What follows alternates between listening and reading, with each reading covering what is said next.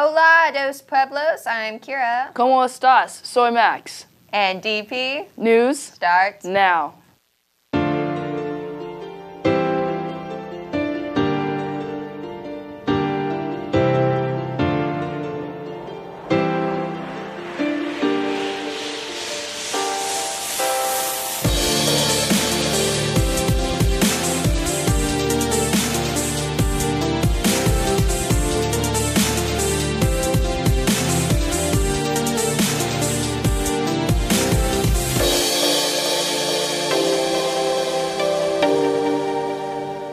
This Saturday, September 20th from 9 to noon is the first Beautify DP of the year.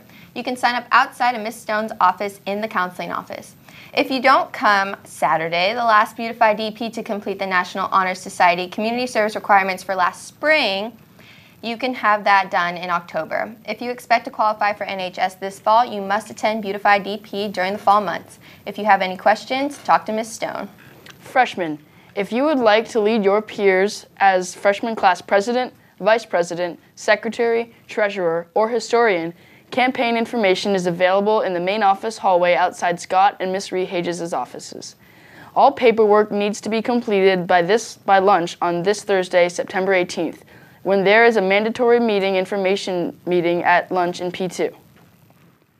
Grand Canyon University is visiting our school today in the Career Center after lunch.